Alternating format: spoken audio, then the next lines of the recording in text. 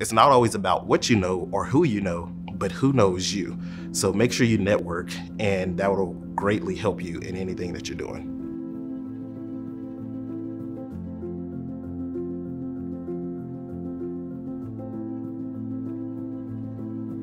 My name is Devin Carter. I graduated from the University of North Texas with a major in logistics and supply chain management.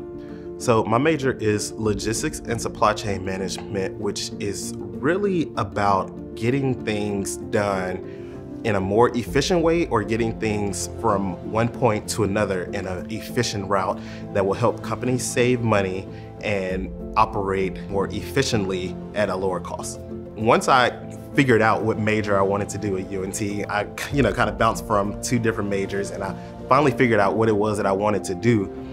Once I started taking those classes, they were mostly project-based. And that was difficult for me because I, I wanted to, as a student, just want to get the work done myself and finish on my own time, but I had to rely on other people. So many of those classes were definitely project-based, but it, again, directly translated to my career now. And I realized that I needed the help of others in order to get my job done.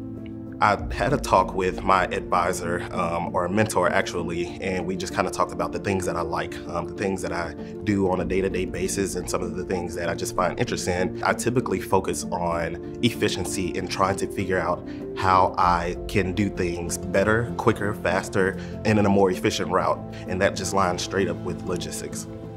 I currently work at Southwest Airlines corporate headquarters in technology. Um, I work in a department called Enterprise Management within technology, and I support our supply chain management team um, and focusing on figuring out how we can develop systems or buy new systems that help them operate more efficiently.